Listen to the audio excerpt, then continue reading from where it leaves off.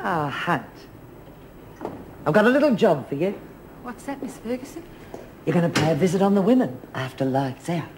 How am I going to do that? Oh, I'll let you in. Then it's up to you to wake them and have a little chat. Remind them that their top dog has gone and they need protection. Protection against what? Hmm, just two dollars a week, Hunt. That's cheap rates for health benefits. They'll love it. Some of the women haven't got much cash, Miss Ferguson. Yes, and I've made allowances for that, Hunt. There are other things they can do. Like inform on anyone who's against Stevens. Jeez, I don't think anyone will lag, Miss Ferguson. Yes, they will. Smith's reign is over, Hunt. There are new rules now, and you're going to help see that they're obeyed, aren't you? Yes, Miss Ferguson. Good. That's all right. Serviettes. Come up, we're here. Come and meet the most wonderful girl in the world. Pleased to meet you, Jenny.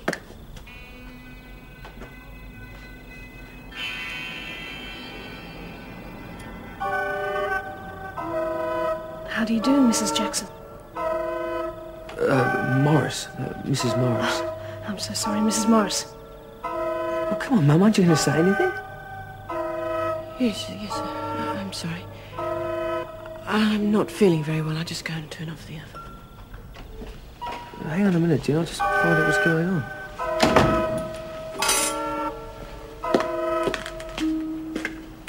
What's the matter with you? You could have at least said hello. I'm sorry. Where did you say you'd met her? On the ship, but what's that got to do with it? I'd never have boarded you if I knew you were going to act like that. Come on, Jen. We're going out to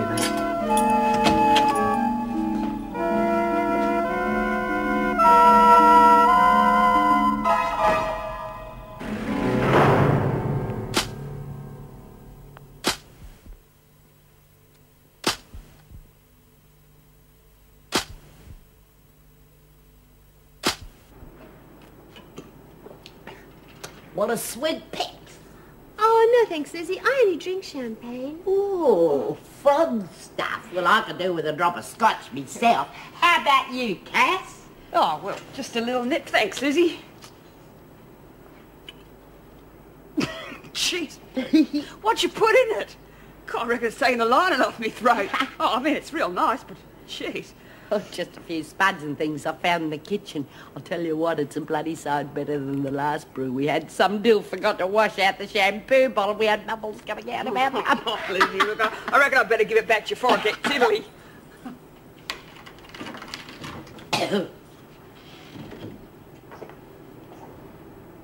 How did you get in here? How do you reckon? Stick your head outside the door and I'll bet you London to a brick the bloody freaks okay, out shut there. up and listen. Me and Francis are collecting for the Prisoners' Health Benefit Fund. Like bloody hell you are. Do you want me to break your other arm? Ah! All you got to do is pay up and you won't get hurt. Well, what's the Prisoners' Health Benefit Fund? Anyone that doesn't pay up doesn't stay healthy, right? Right. Okay, Parker. Two bucks. Oh, you can't ask her. She's new. That's not fair. Don't you pay, love? It's okay, Liz. It's okay. I don't want any trouble. Ever seen a pizza run over by a truck? No. Well, that's what you're going to look like if you don't pay up. You two better play ball, otherwise we're going to rearrange your features for you. Here. That's all I've got. Dust. Good. I knew you'd see it our way. Sweet dreams.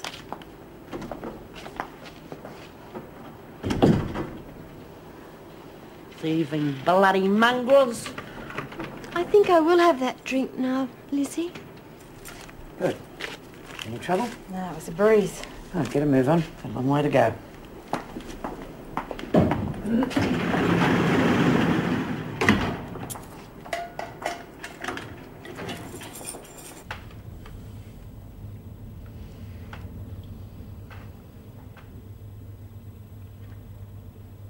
Where do you put it all? You're as skinny as a rake.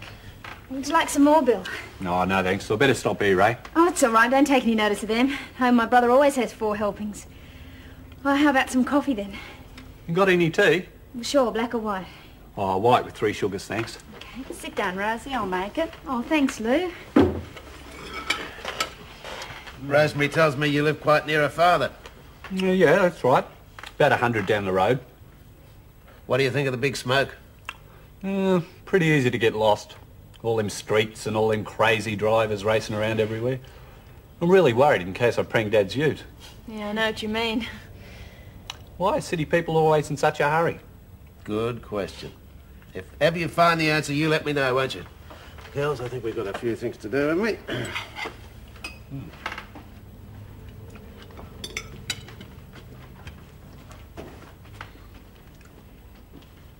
Bill, about that letter, I guess you think I'm a bit weird. Oh, no more weird than me. I guess answering a crazy ad like that in the first place, well... Your old Pixie got so many replies. I suppose she thought she should give some to some of her friends.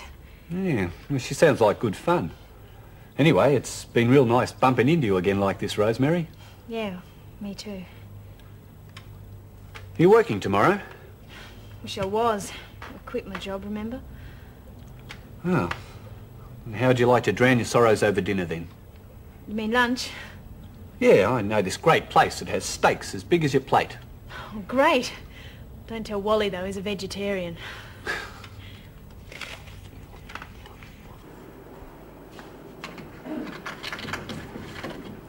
Okay, you lot, shower time. Come on, Mason, get a move on. Don't, Miss Ferguson, I've got an awful headache. Come on, Mason. Out. Any trouble, Miss Ferguson? Uh, no, everything's all right. What's this? Oh, dear. Okay, Mason, where did this come from? What are you asking her for? You Shut up, Birdsworth. Well, Mason, we're waiting. Well, I was about to take a shower yesterday and, well, there it was, as large as life. And so I thought to myself, well, somebody's obviously left it behind. And so I picked it up thinking I'd take it back this morning to see whose it was. How did it get in here, then? I don't know. It must have fallen out of my sponge bag. Yeah, I'll bet. All right, Birdsworth. What do you know about it? Well, she doesn't know anything because I, I brought it in when nobody was looking. I just helped her polish it off. Very noble, Birdsworth, but where did it come from? Three guesses. All right. Mrs. Barry, I think these two have got a bit of explaining to do when the governor comes in. Indeed. What about this one? Oh, no, she's all right. She only arrived last night. Okay, get to the showers.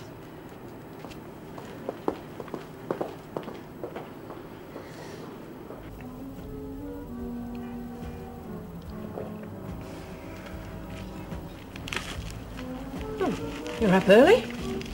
I couldn't sleep. I Had too much on my mind. About Jenny, Marty. Why were you so rude to her, Mum? Well, it was just that... Look, Can you imagine how embarrassed I was? I mean, what got into you? It's just that... Well, I don't think she's the right girl for you.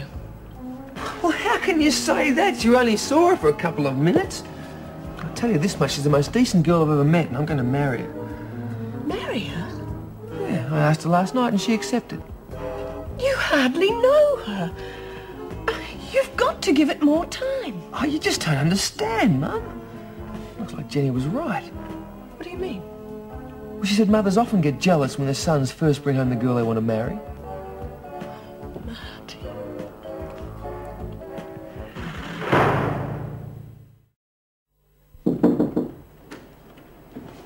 Morning, Miss Ferguson. Morning, Governor. What's this I hear about Mason being drunk this morning? Precisely. And I found this in her cell. Birdsworth admitted to helping her drink it. She probably provided it too, knowing her. I've got them both outside. All right, bring them in. Come on.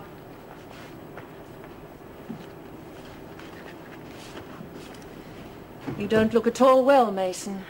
Um, could I please sit down, Mrs. Reynolds? This won't take long, especially if I get the answers I'm looking for. Now, where did this come from? Well, it, it was in the showers yesterday. I thought it was shampoo, but... it certainly didn't taste like shampoo. This is not a joking matter, Mason. You helped her, Birdsworth? Yes, Mrs. Reynolds. Have either of you any idea where this came from? No, Mrs. Mrs. Reynolds. I want a thorough search of the prison, Miss Ferguson, and keep an eye open for any containers which might have been used for brewing. Of course, Governor. I'll attend to it immediately. As for you two, you'll lose all privileges until this matter is cleared up.